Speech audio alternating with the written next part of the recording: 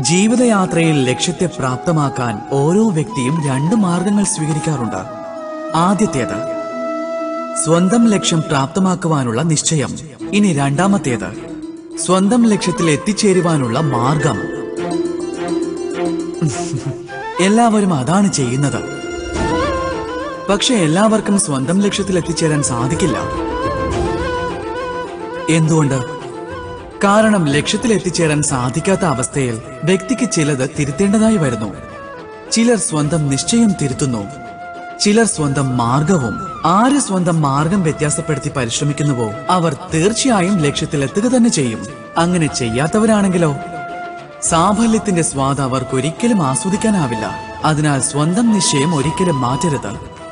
നിശ്ചയം മാറ്റുന്നത് കൊണ്ടാണ് ചന്ദ്രന് പൗർണമി ദിവസം ഗ്രഹണം സംഭവിക്കുന്നത്. അതുകൊണ്ട് സ്വന്തം നിശ്ചയത്തെ കാത്തു സൂക്ഷിക്കൂ. ആത്മനിർവൃതി തീർച്ചയായും ഉണ്ടാകും.